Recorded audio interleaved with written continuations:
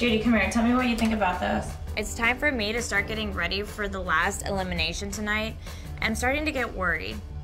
I really want to win love games because I have a lot of pride and I have a lot of confidence. I've come way too far to just lose. I hope my hair doesn't fall. I know. It will, but we'll do touch ups. I'm happy I'm here with you.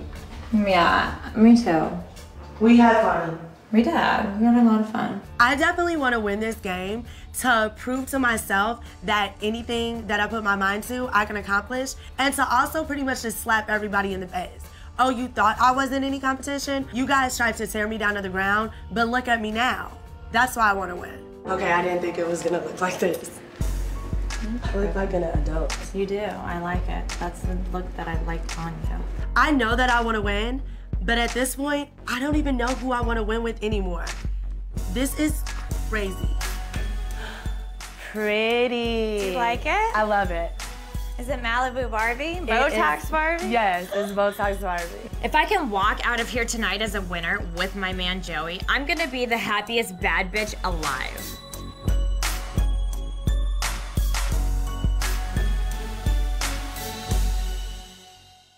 Tanisha hosts a so new season The battle is on every Monday at 10, 9 central. Only on Oxygen. Live out loud.